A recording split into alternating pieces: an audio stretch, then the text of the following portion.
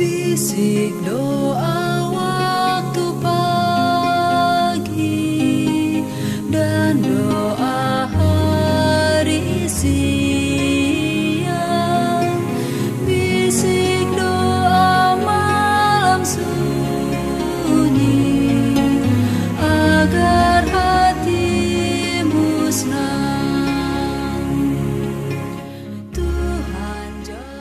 Salam sejahtera untuk kita semua, Shalom. Waktu yang indah ini mari kita gunakan bersama-sama untuk merenungkan kebenaran firman Tuhan. Tapi sebelumnya mari kita minta tuntunan kuasa sorga, kita berdoa. Bapa di sorga kami butuhkan tuntunan kuasa roh kudusmu, kiranya hadir di tengah-tengah kami, menguasai hati dan pikiran kami, agar ketika kami membaca dan merenungkan firman-Mu, kami boleh memahaminya. Berfirmanlah melalui lidah hambamu dalam nama Yesus. Amin. Renungan kita hari ini berjudul Barnabas senang karena orang-orang percaya baru. Ayat inti kisah Rasul pasal 11 ayat 22 dan 23. Maka sampailah kabar tentang mereka itu kepada jemaat di Yerusalem. Lalu jemaat itu mengutus Barnabas ke Antioquia. Setelah Barnabas datang dan melihat kasih karunia Allah, bersukacitalah ia. Ia menasihati mereka supaya mereka semua tetap setia kepada Tuhan.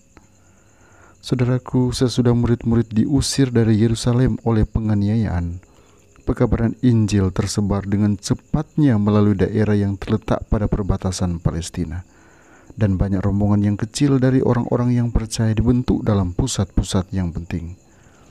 Di antara tempat-tempat yang disebutkan di mana Injil diterima dengan gembiranya di Antioquia, yang menjadi ibu kota Syria. Perdagangan yang luas yang dijalankan di kota yang berpenduduk banyak membawa kota itu dihuni oleh orang dari kebangsaan yang berbeda-beda. Di samping itu, Antioquia dikenal sebagai tempat pecinta kesenangan dan kepelesiran karena situasinya yang menyehatkan, lingkungannya yang indah, dan kekayaan, kebudayaan, serta kehalusan budi pekerti terdapat di sana. Pada zaman rasul-rasul, kota itu telah menjadi kota kemewahan dan kejahatan.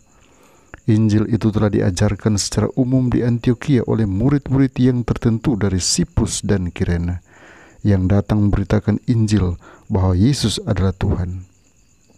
Tangan Tuhan menyertai mereka itu dan pekerjaan mereka yang sungguh-sungguh menghasilkan buah yang banyak. Sejumlah orang percaya menjadi percaya dan berbalik kepada Tuhan. Maka sampailah kabar tentang mereka itu kepada jemaat di Yerusalem. Lalu jemaat itu mengutus Barnabas ke Antioquia. Waktu ia tiba di ladang yang baru, Barnabas melihat pekerjaan yang sudah dilaksanakan oleh rahmat ilahi. Bersukacitalah ia. Ia menasehati mereka supaya mereka semua tetap setia kepada Tuhan. Tuhan Yesus memberkati kita semua. Mari berdoa.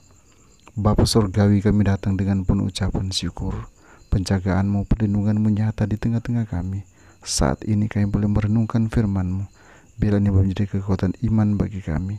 Kami rindu menjadi berkat bagi sesama. Kami rindu berkarya bagi pelayanan pekerjaanmu. Karena itu kami menyerahkan kehidupan kami seutuhnya di bawah kendalimu. Tolonglah kami agar kami akan selalu diberkati dan selalu menjadi berkat bagi sesama. Umat-umat Tuhan yang sedang bergumul, kuatkan iman mereka. Jadikan mereka anak Tuhan yang menang bersama-sama dengan Engkau. Kami tidak tahu pergumulan mereka, namun di tangan Tuhan kami serahkan. Bila mereka sedang bergumul oleh karena masalah kesehatan, kiranya Engkau datang dan berikan kekuatan iman, berikan pemulihan, dan biarlah kiranya mereka tetap sehat kuat dalam Tuhan. Bila mereka sedang lemah, lemah iman, kuatkan iman mereka Tuhan, dan biarlah mereka boleh menjadi anak Tuhan yang setia. Apa pun pergumulan hidup yang dihadapi oleh anak Tuhan, hamba serahkan ke dalam tanganmu. Berikan kekuatan iman kepada mereka sekarang sampai hari Maranatha dalam nama Yesus. Amin.